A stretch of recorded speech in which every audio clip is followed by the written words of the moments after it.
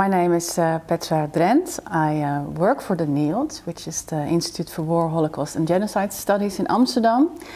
And uh, for the NIOD, I'm, uh, I'm working as a communication officer for two big research infrastructure projects, two big international projects. projects. One is EHRI, is, that is the European Holocaust Research Infrastructure. Um, it's a big international project with uh, 24 partners. It started already in 2010, it's now in phase two. And since 2015 I also work for Parthenos, which is another big uh, international research infrastructure project or um, it's, it's different from EHRI in the sense that EHRI is a, you could say, a thematic research infrastructure project. It's about the Holocaust, uh, building an infrastructure for Holocaust researchers, whereas Parthenos is, I think, a bit, you could say, almost working on a higher level. It's trying to build an, an, an environment for humanities researchers where they can have easy access to data services, tools, um, uh, which, which based on, on shared policies, guidelines and standards. Uh, so Parthenos is actually working for infrastructures like EHRI or CENDARI or Ariadne, uh, I think. Um, I have a background in history and communications, so that's why I probably was, um, well, I have sort of a right background for, for, these kind of, uh, for this kind of job. Well, uh, as you go about your everyday business, you don't think about them all the time, but of course they have to be sort of in the back of your mind always because uh, that's why, why, why, you're, why you're working. And I think for me, then the most important thing, um, the first thing you have to think about is who am I working for? Uh, what is my, my target group? Um, because you can make something, uh, a research infrastructure or anything else, but uh, it, has, it makes no sense if you don't know uh, for who uh, you're, you're doing this. So that's the first thing you have to find out. And um, with research infrastructures, it's often researchers, of course, in the first place. But there may be many other groups you're uh, trying to target, uh, policymakers, students, uh, people who work for museums, for example, um, and even the bigger general public. But that's, of course, a very big term, so then you have to think about what that means. And um, so first you have to think uh, about what, what am I doing for who, and then you, when you have a bit better picture of that, you you can try to find communication tools. So uh, how can I reach them?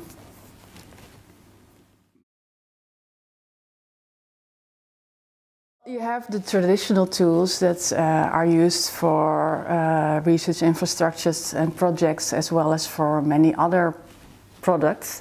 Uh, there's the website, there's newsletter, there's social media. That's a very big important thing that's really growing um, in importance, I think.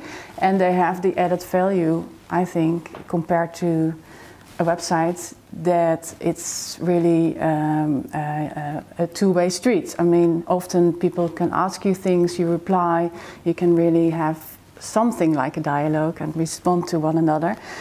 And I think also that's, that's especially important for research infrastructures more than for a regular product where um, uh, well, it's never good to do just sending, but uh, especially with a, research infrastructure, you have to be very much aware that uh, this is this is something you cannot do on your own. You really need also the, the group you're targeting. You're working together at building this, um, so you're trying to build a community. So that's why uh, you you really want this uh, dialogue, if if possible. Um, of course, uh, that's why you have these tools. You can also have uh, regular PR materials, and you can go out to, uh, uh, to, to, to, conferences, workshops, and really meet the people uh, you work for and work with, you hope. In EHRI, we say um, often uh, it's a digital infrastructure, but also uh, a, very much a human network we're making. So it's not just a, just about the digital infrastructure, although within EHRI the portal that gives access to Holocaust um, uh, sources is very important, but it doesn't work without the human network. And we've really found that um, that building this network and, and people collaborating and, and learning from each other, working together is just as important and a very important outcome of these projects.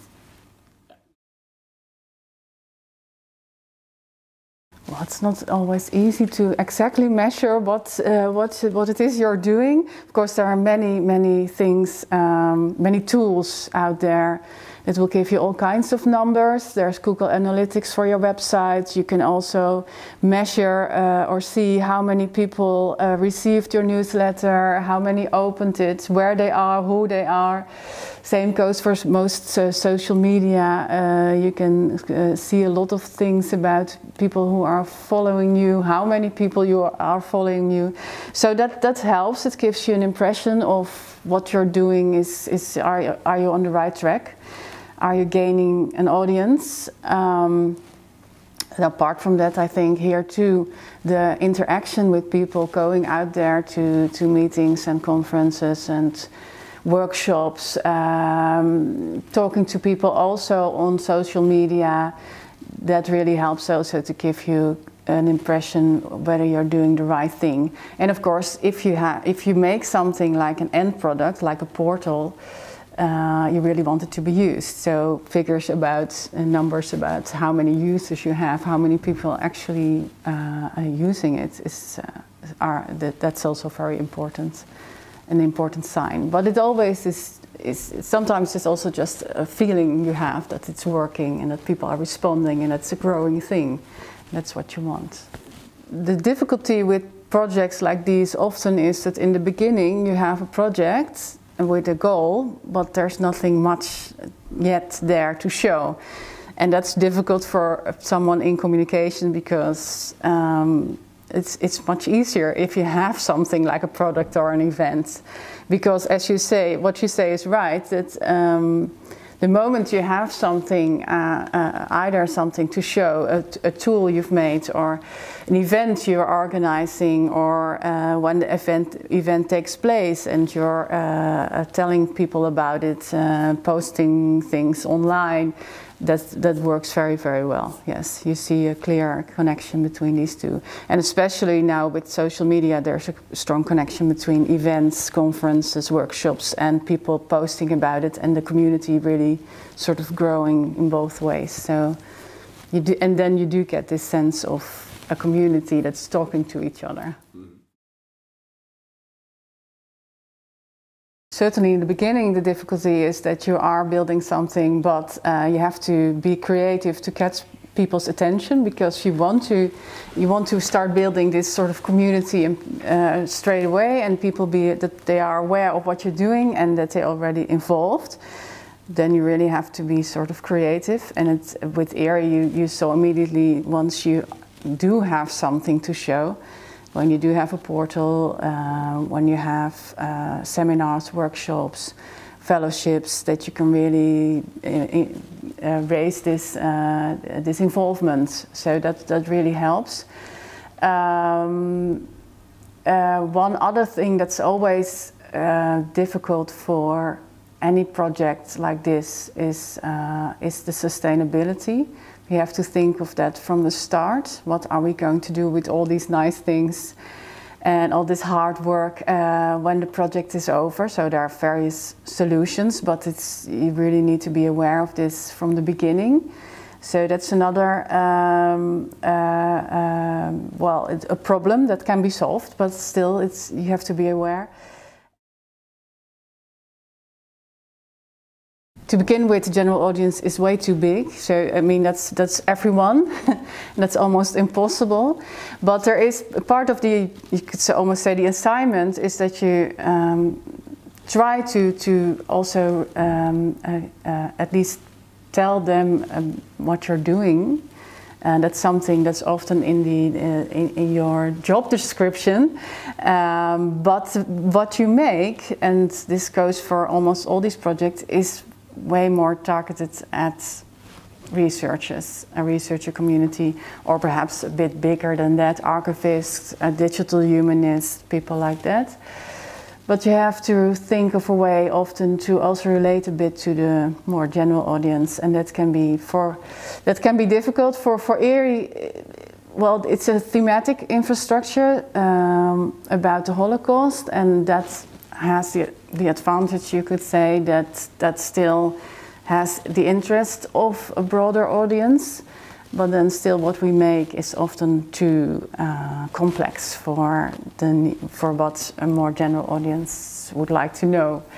Um, so then you have to be creative again, and uh, for EHRI we recently worked together with um, uh, something called MediaLAB, which is a group of students who are in media and design, and we've uh, we've given them the special assignment to, to think of a way to, to relate to a more general audience.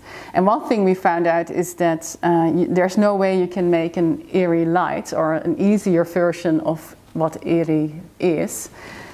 But that's perhaps not what, what you need. And the same may go for Parthenos, although it's a bit it's different. But uh, they made us think about what is it actually we want to achieve um, it's not we're not we're not a Coca-Cola or uh, a Nike where we want everyone to buy us and where um, the brand itself is important, but we don't really mind if no one has ever heard of EHRI, of course. It's basically what we want to achieve, and that is all about knowledge. Uh, and, um, and people have more knowledge to learn, perhaps, about the Holocaust and perhaps even relating to the present day. So when we realized that, you could sort of, you don't have to make an EHRI light. You don't have to make an easier version of the portal because that will be almost impossible. You can start making other things um, that will achieve that goal and then still use what you've learned from EHRI. So perhaps still refer to the portal, but making it use, uh, usable for uh, a bigger audience.